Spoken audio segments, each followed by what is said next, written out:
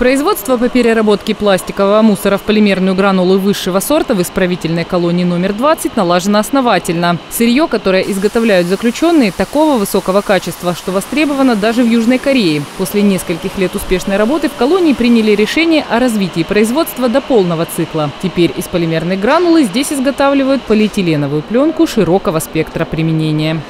УФСИН по Приморскому краю, в частности ИК-20, мы рассматриваем как территория опережающего развития. А, С момента начала деятельности до момента выпуска продукции у нас, у нас ушло три месяца. Для России это очень хороший результат.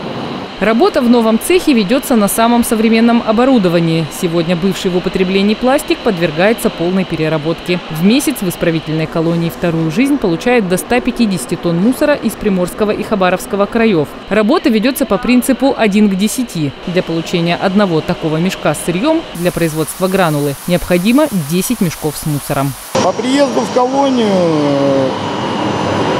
было предложено администрацией колонии несколько вакансий. Я рассмотрел, мне стало интересно, так как ближе к производству. Стало интересно, что за завод, что, какой цех, что за пленка. Вот пришел, попробовал, работаем.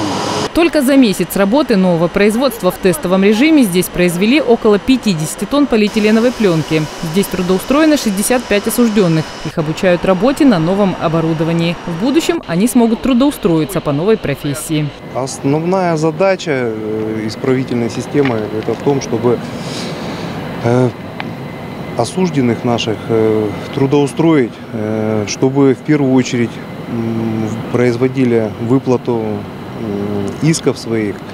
Э, Второй момент. э, Также продолжался стаж осужденных, э, идут отчисления по данным направлениям.